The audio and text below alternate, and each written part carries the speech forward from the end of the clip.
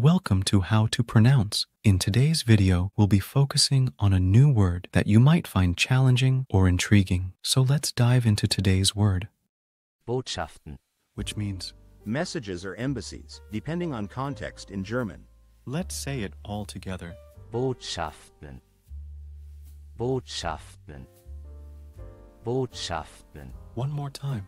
Botschaften, Botschaften, Botschaften.